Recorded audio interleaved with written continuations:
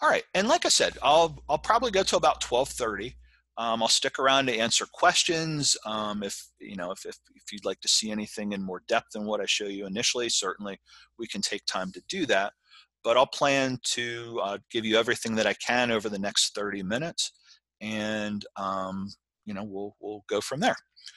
So just a couple things about Khan Academy. Why does everybody use Khan Academy? Um, first and foremost, it's free free for you to use as an educational tool, free for your students. Um, it also um, enabling your students to do this, being that as, as it's free, that means that if they go on to post-secondary school, they can use this for any college math they might take or you know any other you know anything else that they do that they need support with. This is this can be a lifelong learning tool for all of your students. Um, another really nice thing about it is it's very mobile friendly um, it's something that for your students that maybe don't have good computer access to the internet, it's very mobile friendly. There's an app that's web-based. And the important thing about the app being web-based is there's a free ESL resource called USA Learns that I'm doing a webinar on tomorrow that has an app. That app is not web-based, so when the students do work on the USA Learns app, it doesn't track time when they do work on the Khan Academy app, it does track time. So if your students use the Khan Academy app, as long as they're signed into your class, which we'll, we'll talk about, then you'll be able to see the time that they work and, and track all of the work that they do. The lessons are also very short, which can be very nice for students to be able to, if they have like 15 minutes, they might be able to watch a couple of videos. So unlike some of the resources that maybe a student has to sit, block off like an hour or two to really sit down and benefit from. This is something that students can do in short bursts. It also has a very nice system for allowing students to master specific skills. So for example, like adding fractions with like denominators or identifying pronouns or something like that, where they can get practice to actually master those specific skills, which is great. The math content is, uh, there's a crazy amount on there. Uh, starts actually with pre-K and goes up into college math, like um, differential equations, you know, things like that. The, the, the, the K through 12 content is Common Core standards aligned, which means that you can align it to the college and career readiness standards. Uh, there's now ELA content for those of you maybe who thought of Khan Academy as only a math resource. There are some grammar lessons on there. And they've just recently launched some reading content, uh, which is, I think, from first grade through eighth grade is how it's organized. And we'll look at that. And then there are also science and social studies. There's there are computer lessons on there, coding, just all kinds of things. So there's a there's a lot of content. Um, and we'll take a look at the site here in just a second. I mentioned that it's mobile friendly. These are screenshots that I took of uh, from my uh, smartphone. Uh, it's a Samsung uh, Note 9, I think it is, so it's like a year or two old. Uh, but this is just kind of what it looks like, so just so that you can see what your students would see if they're working on this from an app. Now this screen on the left, uh, where it says Math Pre-Algebra, this is kind of like the home screen. And one of the things that I'll show you is how you can assign lessons to your students. So you can see this is me logged in as a student and it shows me some of the different lessons that I should be working on. So it kind of gives them, so if you assign lessons to your student, then they can work on the things that you're, you're inviting them to work on. Um, this um, gets a little deeper into one of the, you know, one of the little mini units uh, on arithmetic properties.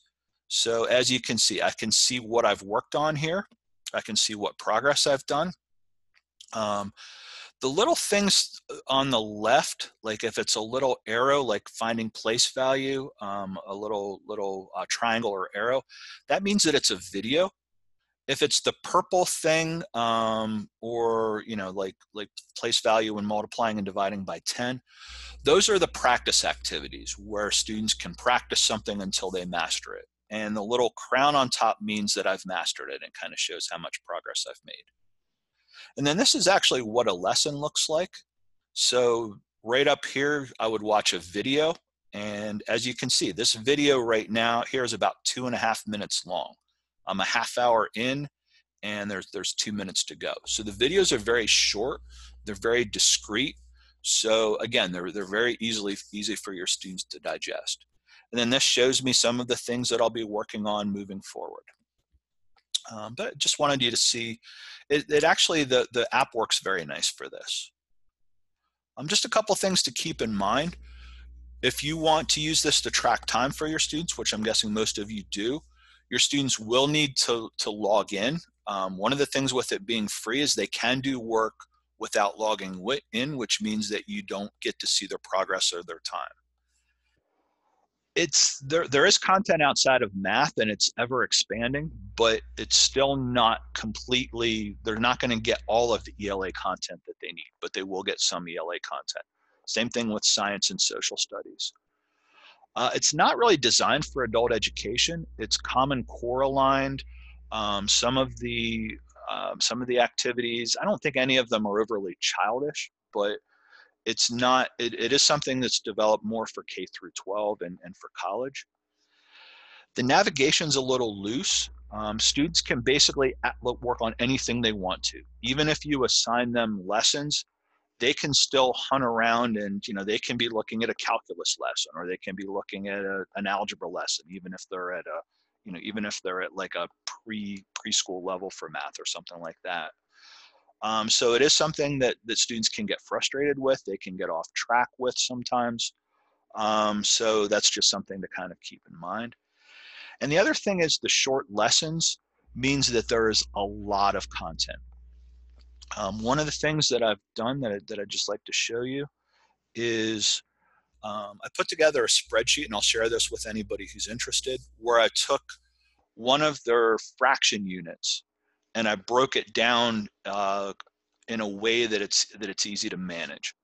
So the unit as a whole has 60 videos and 50 exercises. So when you assign that to your students, they're going to see this long 110 item list to work on just for fractions.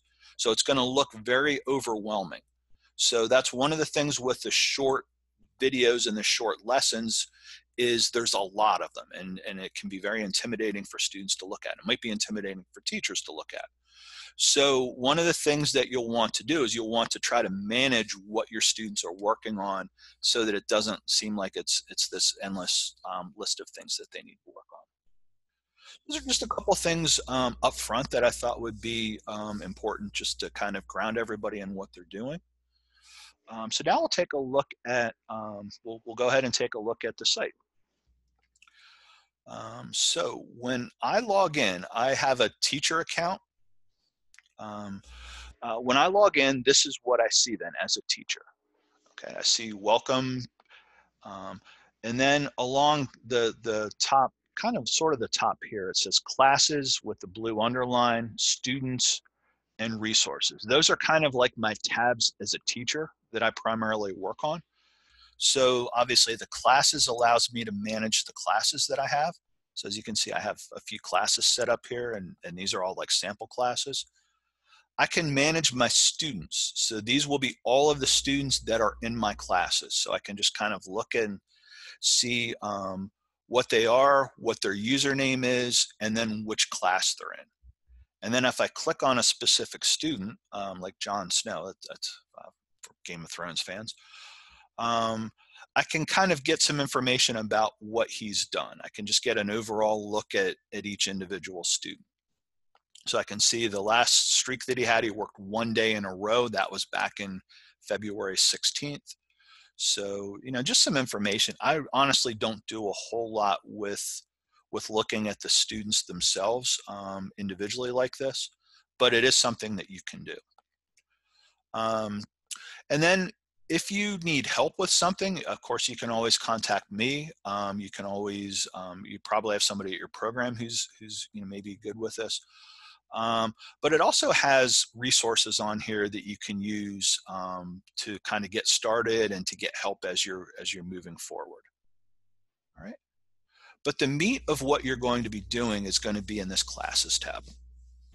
Okay, now obviously when you get started, you don't have a class in there. So one of the first things that you would want to do as a teacher is to add a new class.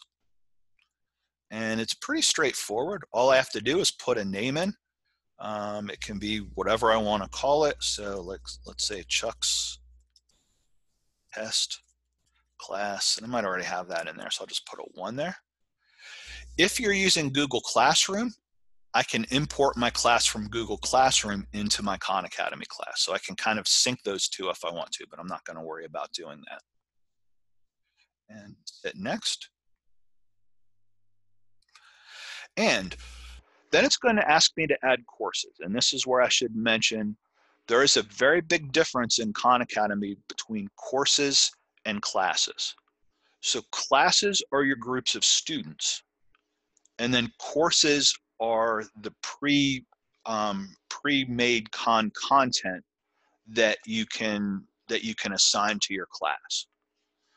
Most of what you do um, with your students um, it, it for adult ed is going to be early math for very like kindergarten, first grade, like counting, um, you know, very ba- very very basic, arithmetic, and pre-algebra.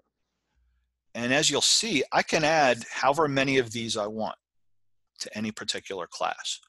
So one of the things that you can think about as you're setting this up is, do I just want to put all of my students in the same class and then add all of these courses to it?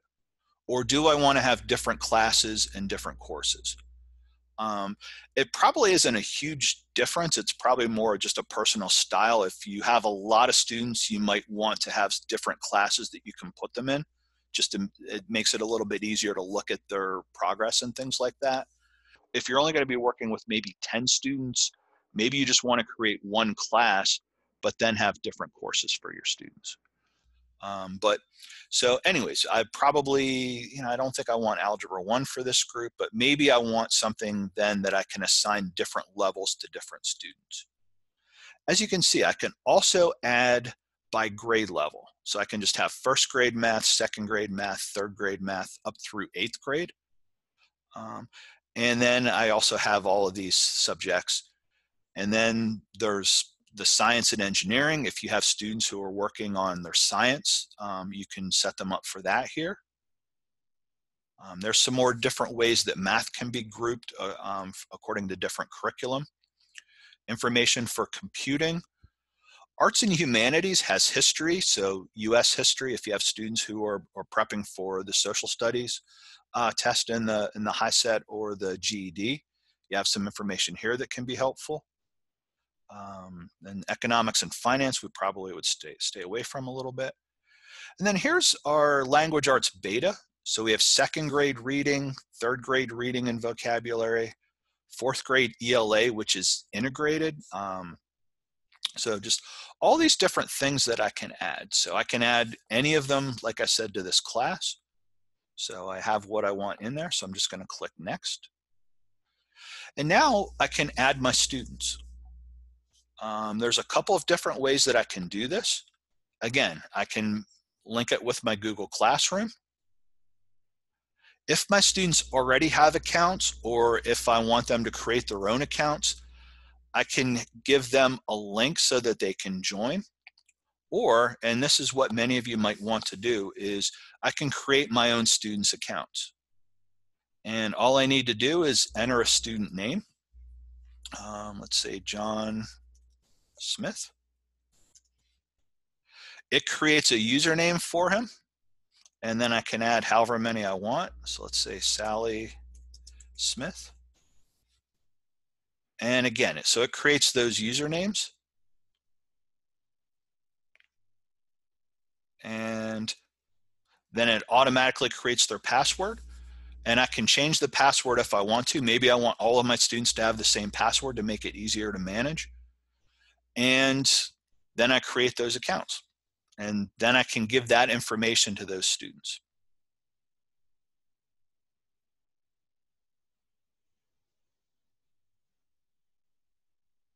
All right, and then I can download that as a spreadsheet if I'd like to. Okay, so that's all that you need to do to create a class. And as you can see right here, I have this class now available to me. And there's my roster. All right. So that's all that you need to do to create a class. I've created my student accounts. If my students already have accounts, is I can also give them this code and they can enter that and then they will automatically be entered into your class. So that's another way that I can that I can put my students in my class. But one of the nice things is you can do it as as kind of like a bulk um, bulk thing to do. So that works out pretty nicely. All right. Um, any questions so far? Okay, we do have a, a chat question. Chuck, this is Ronnie. Yeah. Uh, hey, Ronnie. Hey, I'm good. How are you? Good. Good. Listen, I just want to verify. Um, I, am going to be creating a class to this when we're finished here for my advanced ESL class, mm-hmm. and I want them to do reading. Along, what I'm understanding you to say is I can send them the link to join, and the system is automatically then going to list their name, so I know who's enrolled. I want to know who enrolled and who's taking part of it so will I be able to see that information if they join? Yes. So if they if they do that, then you will be able to. Then they will be on your roster. So when you see, so like for any of my, yeah, that should put them in your class, and you should see them. Um, what I, I oh, go ahead, Ronnie. What I need to do is just send them the code, and they can join. Yes, they'll need to create an account themselves if they haven't already done so. And actually, I'll pull that up right here. So, is it actually easier for the student for me to put their name in? I want to make this as easy as possible for them. If you, if you, I, to the safest way to do it is for you to create the account. Okay. And then just to give the information to your students, give them the link with the username and password. Um, the only thing is if they if they already have an account, sometimes it gets a little goofy. Like when I go into Khan Academy, it always defaults to the last whatever account I was in under. Like I have about 10 different student and teacher accounts for practicing different things. So whenever I pull up Khan Academy, it whatever the last thing I used it under, whether it was Chuck Klinger, John Smith, Jon Snow, Daryl Dixon, whatever, that's what it remembers. So it always defaults to that. So that's the only way that it gets a little dicey is if you have students managing multiple accounts, then okay. it might be something that gets lost. Does that make sense? It does. Now, one other question. If I give them all the same password, can they access each other's course? Or no, because their username would be separate. So like so they'll have a unique username and then they'll have the the password that's that you created for them. Okay, thank you. You answered my questions. Okay, great. Hey Chuck, Marianne. Hey Marianne. So I'm just going to restate that to make sure I understand. So you can um, set up the username yourself for the student, and and it goes through what you just showed us, assigning a username and password, or yes. your student could use the class key to enter your class if that had not been done. Correct. And, uh, and then they would also be at that point, does it then assign them a username and password if they put the class key in? Yes. It, well, two things. One, if they already have an account, then they can add that to their existing account. So it can be like another class that they're in. So like this on the same account, a student could be in a couple of classes. Okay. So that would include them in your class. If they don't have an account, when they create an account, so like if I click sign up here, and I want to sign up as a learner. So I put my information in. Oh, you can see right here, it asks for the class code. Oh, okay. As a learner. Now, so in other words, this is someone who has not yet signed into, has not registered on Khan Academy at all. They're coming. Exactly. Yeah, this is this is a different browser. So this is like you can see, it's asking me to log in, but uh-huh. instead I click sign up, and you know I can sign up as a parent, teacher, or learner. So for those okay. of you that don't have it, I'm sorry, just let me finish this real quick. Sorry, okay, Sure. For those of you that don't have accounts, that's what you'll do is you go to sign up, And then you'll make sure that you sign up as a teacher, though. That's the important thing. Now, sorry, for your learners, what, what were you going to say? So here they're logging in. It's the first time. They could enter that class code right there and click on that. Or mm-hmm. if they were to do it without a class code, where does it ask for their, you know, I guess they just click learner and they go through the whole month, day, year, birth date. Yeah, even if the, even if they have a class code, it's still gonna they're still gonna need to put that information in to create their account. So okay. I put my my birth date in, and I can sign up for however I want to sign up, and then like I said, I can enter my class code, or if I already have an account. So it gives them it gives them options.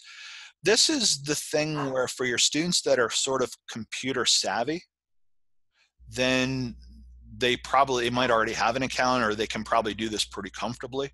For your students who are not comfortable with computers, you might want to just set it up so that you all you have to do is send them a link, a username, and a password. And then that way they can get in. Okay, thanks. Oh, sure.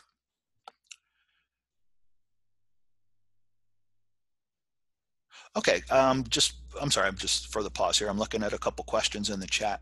So Carolina, Carol, asked uh, if I have different levels of math proficiency in my class and I want to assign different courses, do I have to create three different classes? No, you can create the same class and you can actually make assignments to individuals within the same class, like different assignments. And I'll, I'll show that next. Um, but yeah, the answer is no. The only way that I'd say you'd want to make different classes is if you have a lot of students that you're trying. I, I think it's more manageable if you don't have like a giant 50 person class or something like that. Um, okay, so another question, how do I get into the classes uh, themselves so I can see exactly what the course content is? We'll look at that here in just a second. Jay, Jay Joyce. Uh, Christy, I, I touch a GD class with another, uh, uh, teach, I assume that is, with another teacher. Is it possible to have two teachers assigned to the same class? Yes, you would have to use the same login information. I believe. I, I don't think that there's a way that two different logins can share the same class, but we'll we'll play around with that a little bit. And if we find out a way that you can do that, I'll let you know. Okay, so good questions.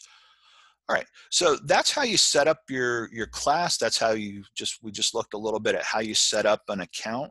Um, and now let's look at once you have your class, once you have your students, then, um, oh, the last thing that I'll say before moving on is if you, as you're working on this, if you run into trouble, I'll be happy to work with you individually, um, just briefly, of course, but where you share your screen and I can kind of look at what you're trying to do and make sure that it's, it's, that it's sound. Um, I, I, don't mind doing that. You know, if obviously if everybody in the state wants that, then we might have to have a waiting list. But um, but I don't I don't mind working with you on supporting some of you on setting things up as well. But I, all I ask is that you kind of try it yourself first. Okay, so I have my class, and um, let me look at this one right here. It's an algebra. No, actually, I want to look at I want to look at this one right here, pre-algebra. So when I click on it, um, it, it will usually take me to the last thing that I looked at with it. Now, most of the work that I do is going to be along the left here where these tools are and this administration is. So the first thing is activity overview. If I want to see what my students have been doing, when I click on this activity overview, it will give me a list of the students in my class how many total minutes they work during whatever uh, time period I've given. Have they leveled up in any skills? Have they done any activities and shown mastery? And have they worked on any skills that they haven't uh, done anything in? And I've done, I haven't done much with this class, as you can see, for a while. But uh, as you can see, one of my students did do nine minutes, one skill. Um, and as you can see, this is the date range, January 1st to March 23rd. I can make that the last seven days. I can just make that for today, the last seven days, the last 30 days, or I can do a custom range. So whatever time period you're looking for, you know, it could be the last year, it could be the last 27 days, whatever you want to enter, it will show you these three things pretty much in a nutshell. And then if I want to see what skills they worked on, I could click on him individually and start to look at his individual profile. Or I can start to look at, now remember, this is the mastery, or the, I'm sorry, the activity overview. I could start to look at the course mastery and I can look at their progress. I can look at specific skills that they worked on, or I can look at it by student and I can see which what did, what each individual student did. All right, and again, it gives you uh, whatever the date range you're looking for. Um, course mastery is a little new. I don't do a lot of work with that um, with, with any of like my, my actual students. Um, then the other thing that I can look at is under assignments. I can make assignments, and this this kind of gets at, the whole gist of whether to have one class, two classes, however many classes. Um, so this is based on the, the the courses that I put in. Now for this, I have early math as a possibility. So as you can see, these are different units I can put in. And this gives you the common core standards that they apply to. So you can see this is all kindergarten uh, and first grade content and, and a little bit of second grade content. Okay, and then as we go, it gets up into third grade. So it just kind of gives you a little bit of a sense of, of what this, you know, what this is about.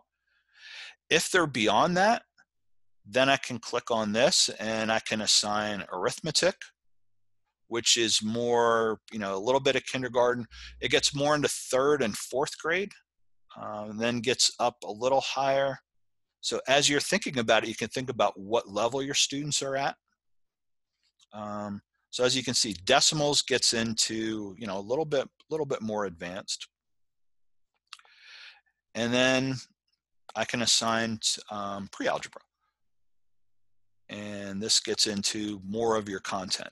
Now, with this, so each of these, within each course, there are several units.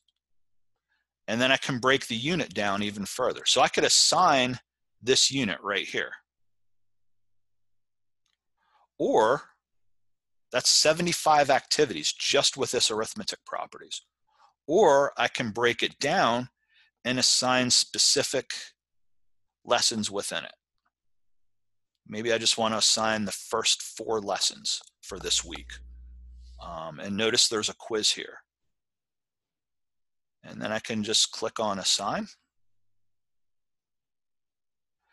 And you know, there's question sets in here. So do I want each student to have the same questions? Do I want them to have different questions? Um, since nobody's working together, I'd probably give them the same. And now this is the feature that, that uh, somebody had asked about. I can assign it to all of my students or, need to scroll down here a little bit, sorry about that. Or I can just assign it to some of my students. I can assign it to Daryl Dixon and Rachel Green, but maybe I don't want to assign that to Jon Snow. So I can assign it to so I can assign it individually or I can assign it as a class. Um, or like I said, I can assign it to all.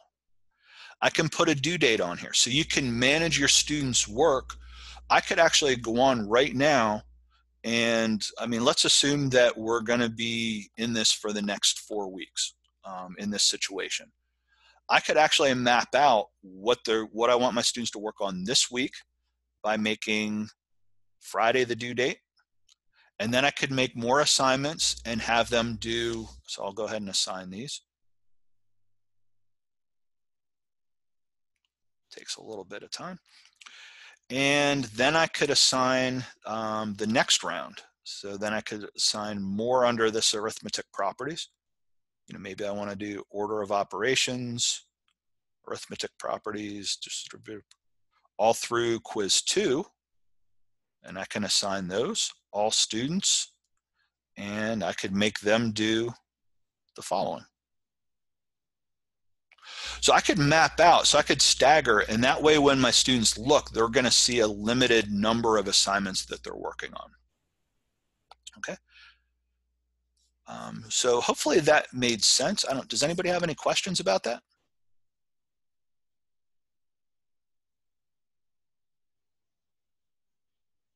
Okay, that made sense. All right.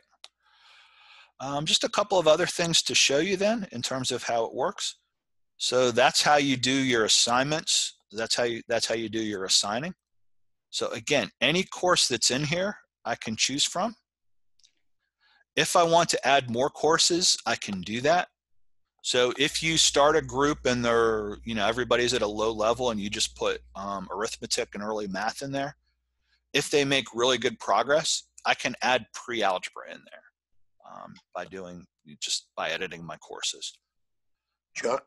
Yeah. Uh, this is Marty. Uh, I have uh, two questions. Number one, um, who checks their work once they're done? Well, that's a program. Ideally, the teacher's going to. Um, now, in this situation, and that's something that I think that I want to get into in our webinar next week that we're going to do. Um, our program where we have sometimes multiple teachers working with the same group of students um, you know we we have like maybe one teacher teach monday and wednesday another teacher teach tuesday thursday or team teaching. Um, we have we've had our teachers just split our students up and each one is kind of like working with a group of students. So you know but ideally the, the teacher is going to do this. Um, actually check the work is pretty pretty straightforward.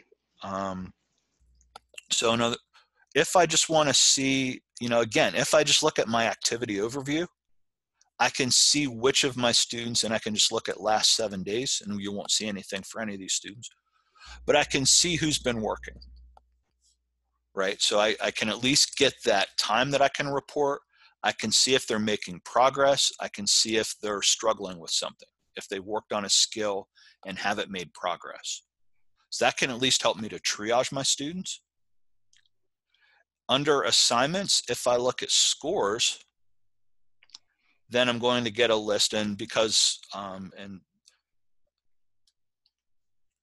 try and get out here where they've actually, somebody's done something. Apologize for the delay here. No problem. Unfortunately, I think I have to get to fractions. But what will happen is if they watched a video, like this, tri this triangle here means it's a video, it'll just be green and have a check mark. These writing, these pencils means that they're activities that students do, and it will actually show you the percent that they got correct. So that's that's how you can get a little bit more detailed information about what they've worked on. Hopefully, if you have it set up where you're assigning specific things, it will show you mainly this will be limited to the things that you've assigned for your students. So, a question though, uh, yeah. you talked about it'll show uh, the percent, but again, this is after the teacher grades it. No. Oh, good. Okay, I see your question. No, actually, when they do activities, Khan Academy, they'll see actually what their score was. Um, it's something that that Khan Academy actually scores for them. I see. Okay. Now another question. Actually, there's two more. Um, when you showed us a list of the the tests that you know Khan Academy can help with. I saw the SATs and I saw others, but I didn't notice a GED. No, it's not. Um, like I said, it's it's really more of a K through 12 resource, but the instruction is very very appropriate for adults. It's just not organized right now in a way that is um, that it's it's not organized for the GED test. Okay. And, and go ahead. I'm sorry. That's okay. I uh, what do you call? Um, I teach for the college not only GED but I also do SAT prep. Oh. And mm-hmm. it, there's a great similarity between the SAT and the GED. Mm-hmm. the SAT, of course, is harder, in my opinion. But as far as the subject areas, they're very similar. So if it can be used for SAT, then I would think that it should also be able to be used for the GED. I think so. I, I mean, I think that the content, a lot of the content is shared. So when we look at, um, I work a lot with the pre-algebra, like I said, the early math, arithmetic, and pre-algebra. I think that that's going to give your students most of what they need to be prepared for the for the GED. I think there's there are good progressions in there. Um, a lot of the content overlaps though, so you'll see when you look at courses, you know, you'll see, um, you know, they have the math, early math, arithmetic, pre-algebra, but they also have math by grade, so first grade. So a lot of all the math that's in first or so there's a lot of overlap between like the first grade and the kindergarten and the um, and the pre and the the the arithmetic piece. There's a lot of overlap between the fourth, fifth, sixth, seventh, eighth grade and the pre-algebra. So yeah, so I mean, I, I think it's a matter of picking the courses that have the content that you want for your students. Okay, another thing is that uh, there are these letters OAD, EEA, NSA, and I'm not quite sure what they stand for. Okay, a good question. These are actually the Common Core state standards that they apply to. Okay. So like the three, and just real quickly, the the three means third grade. Mm-hmm. OA means um, operations and algebra and the D is just like a, a, a signifier. And then like the six is sixth grade, um, ex, uh, expressions and equations. And, uh, you know, again, that's like the first one. Is there a list that we could actually see these abbreviations? Um, yes, I don't know if it's on Khan Academy, but that's something that you could probably just do like a Google search for of like Common Core domains Okay, that sounds good. And my last question Okay. is that um, when these assignments are given, the students do them individually when they have time. But do you schedule a meeting when we all get together online? That's a that's depends on program capacity. Um, what, the way that this worked prior to you know the, all the classes needing to suspend was I think most programs did they taught the students in class and then if students wanted to do extra work then they could go to khan academy so there was a lot of support there the reality now is i think your most of your students are probably going to be that are able to and willing and have time and and things like that they're going to be doing this work in khan academy i do think that it's a good idea to have a, a way to check in with your students obviously to see you know, to review their progress, you know, pat them on the back for good things they're doing, support them with things that they're having trouble with so that they don't get stuck and they can keep moving forward. Some programs are doing that individually. Our program, for example, we're using uh, something called Google Hangouts. Like if you use Google Docs or Gmail or things like that, it's just another Google product um, where the day two we meet four times a week let's say at nine o'clock for our face-to-face classes so two days a week at nine o'clock we're inviting our students to join this google hangouts where they can interact with each other and their teacher and then that's a place where the teacher can review the work they've been doing maybe try to do a little teaching through there um, i know other programs are more reliant on phone and texting um, and maybe doing more individually. Um, it's just so much of it just depends on your capacity and your comfort with using technology and your students' comfort with using technology. Um, I, don't, I don't know if that answers your question or not, though, Marty. It, it basically does. And uh, the final thing is, uh, I would imagine we need to know all the students' emails so that we can contact them initially. Mhm. Okay, so the school will have to provide us with that because I teach uh, as I said, uh, GED level. We have two levels at the college. For the adult literacy, and one is called ABE, Adult Basic Education.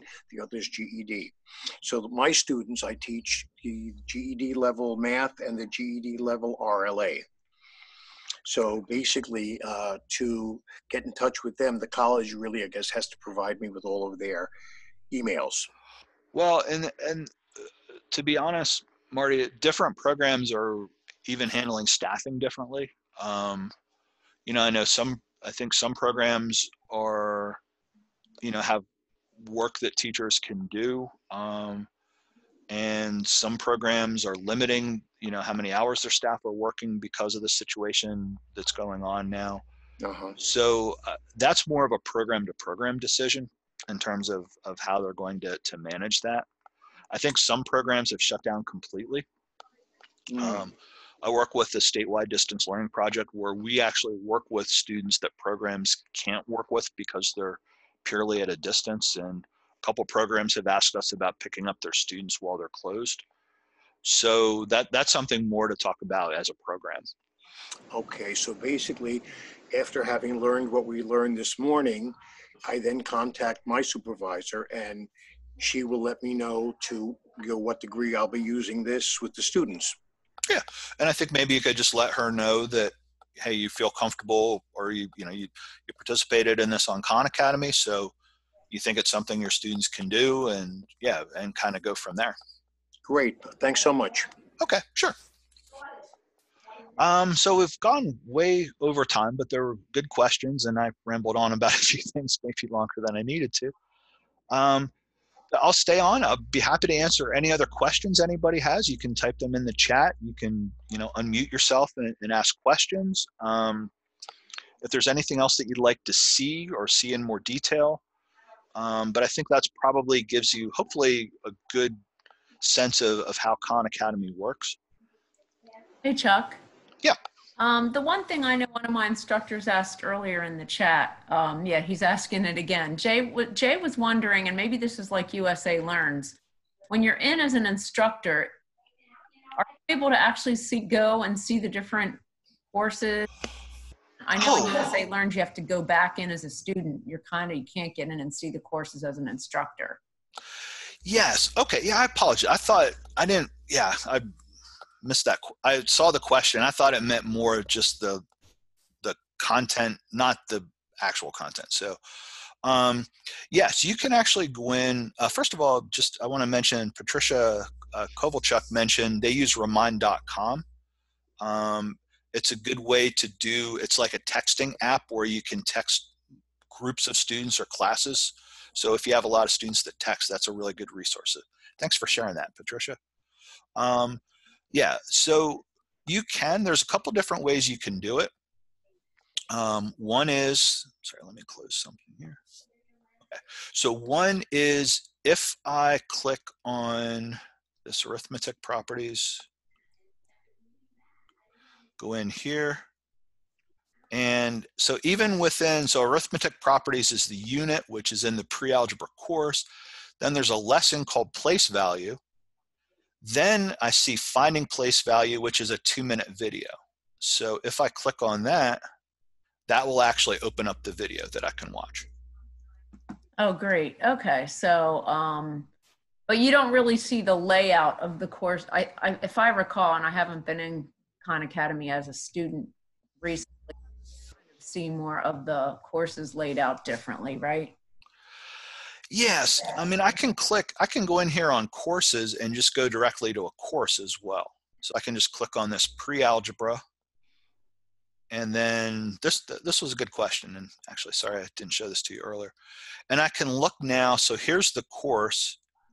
And then these are the units and the lessons within. So I can get kind of like a sense of the whole course. Is, is that what you're? Yeah, I think that's probably, does that answer it, Jay? I think, I think that that's what he's looking for is how to see what a student would see when you're in as an instructor. I know in USA Learns, it's totally different views from going in as an instructor Right. as a student. Yes. So this is this is a way that you can kind of preview the content. And then again, if I want to, I can click on any particular lesson.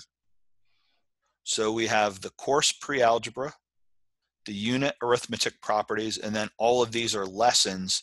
And then each lesson has multiple videos. Um, so I want to see something on the distributive property.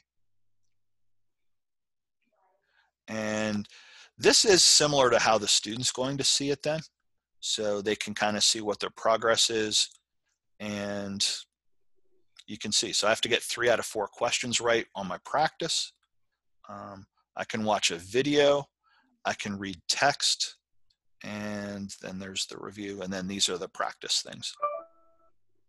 Let's see. Chuck? Yeah. Uh, Marty again. Uh, to get the ball rolling for, as a teacher, we go into Khan Academy website? Oh, I'm sorry, what's that, Marty? Uh, to get this started as a teacher, do we go into Khan Academy's website? Yes, just go to khanacademy.org or just do a search for Khan Academy and it'll probably be the first thing that comes up. And when you're there, um, you know, again, if you're not logged in, then just click this. If you don't have access already, just click here where it says sign up, and that's how you can create your account. Okay. Again, and make sure you sign up as a teacher. Right. Okay. Thank you. Sure. Um, okay. So there was a question too about how can they get to class code and bypass default. I'm not sure what the bypass default means. Um, if students have an account. If you have an account, you can enter the class code um, by clicking right in here. Like if they click on their name when they're logged in and go under learner home, I think it's under learner home. And right here where it says teachers, I can join a class. Okay, so again, just to repeat that because I was wasn't 100% sure while I was doing it.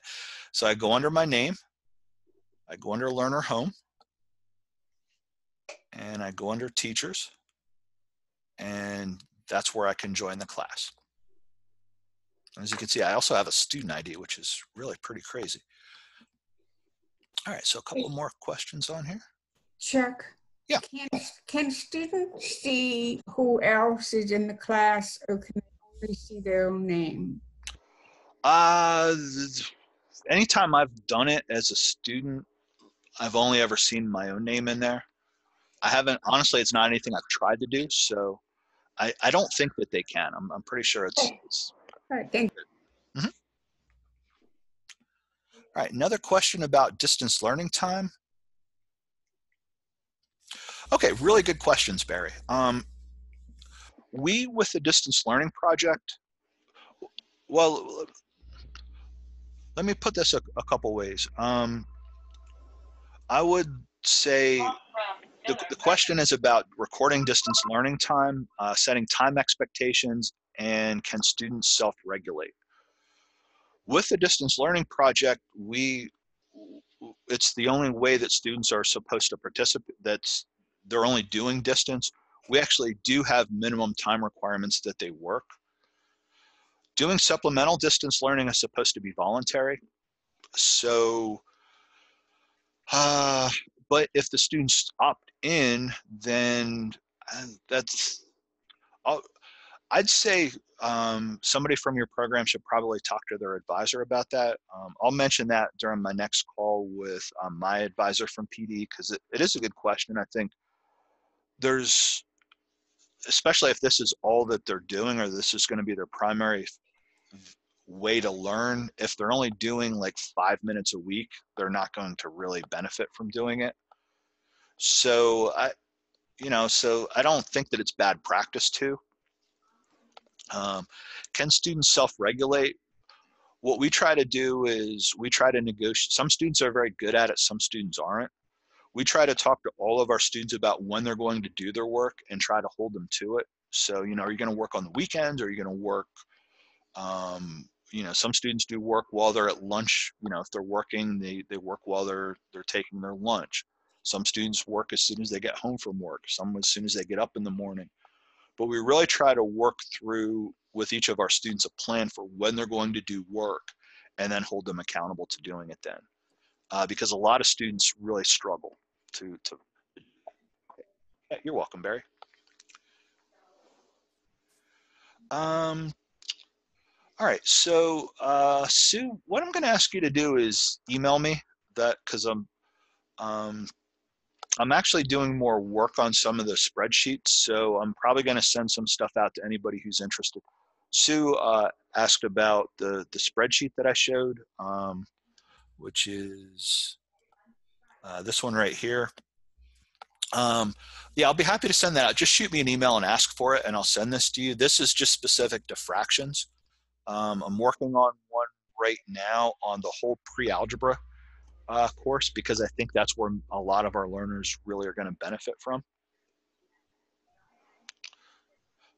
Um, and again, what I'm going to ask is anybody that would like me to email them any of this content, send it to send me an email request, and I'll I'll type my email address here. Um, if I can, a Word document. My email address is uh, C Klinger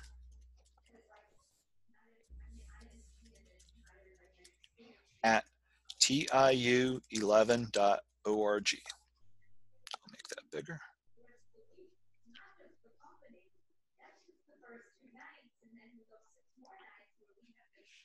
Yeah, so just email me, you know, email, send an email to that email address and I will send you that spreadsheet that I already have on, which is basically just the fractions unit and how I would lay that out um, into three sections, kind of like three sets of assignments for my students. And I'm working on the same thing. I'm hoping to have the pre-algebra, the whole course done by the end of this week, although that might be too ambitious.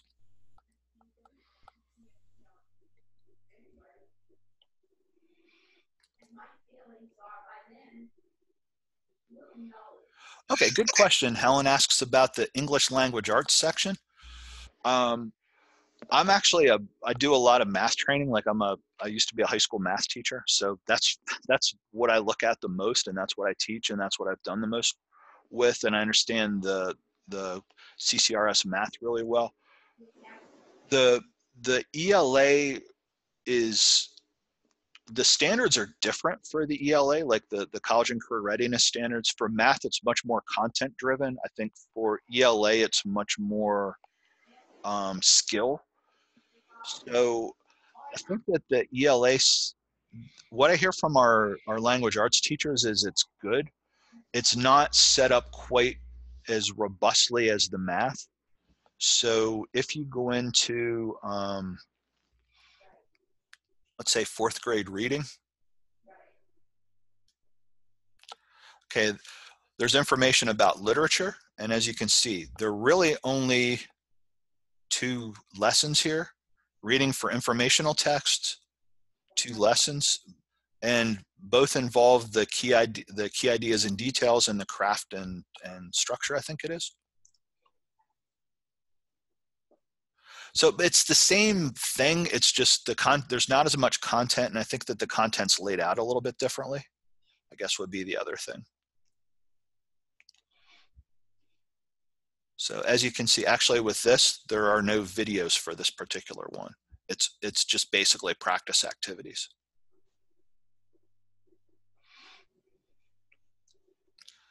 Now the grammar, on the other hand, which is under the arts and humanities, if you click on grammar,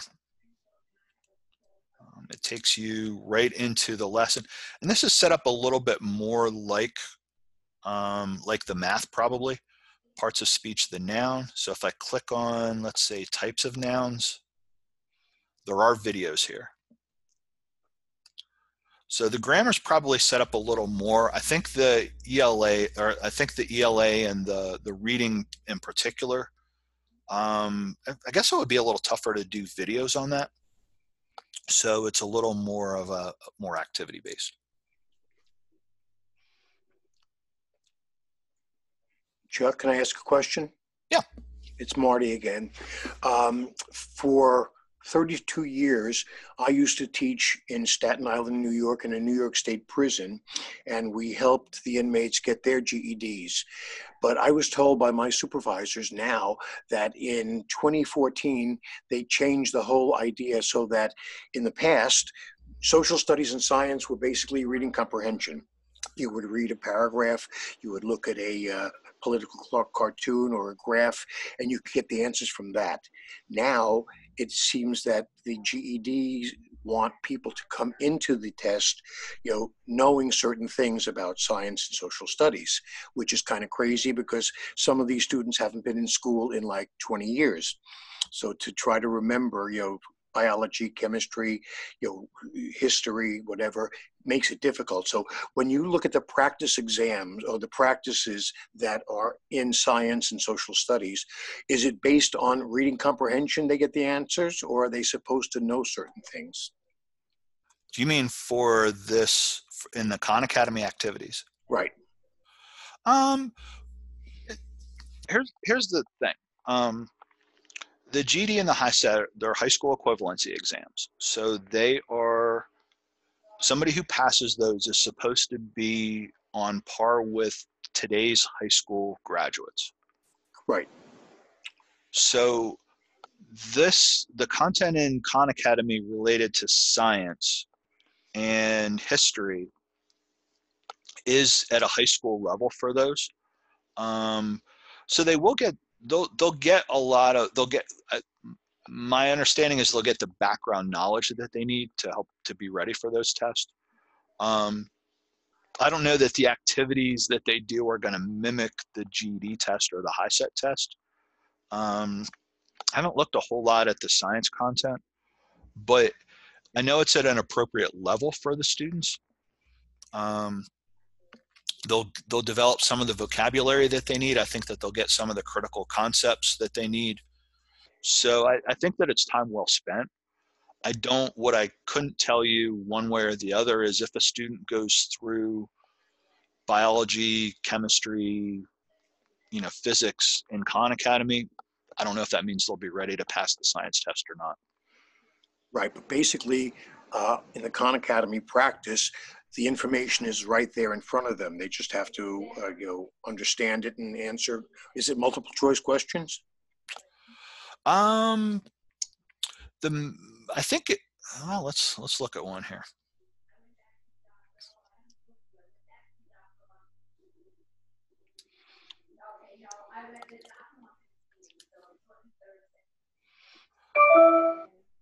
Okay, so here's a question. Yeah, this one's multiple choice.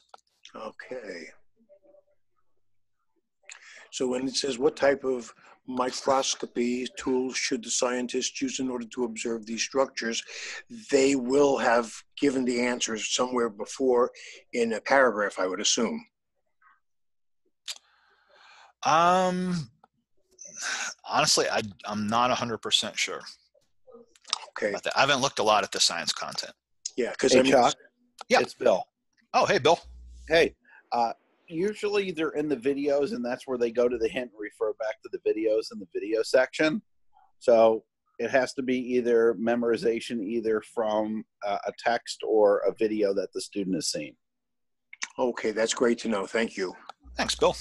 And Chuck, I, I really appreciate you doing this, and, and keep up the great work. This this was this was awesome. So I Oh, thanks, Bill. my, my team and I greatly appreciate it. So Ah, hey, that's what we're here for. All right, um, let's see. Do we have any other questions?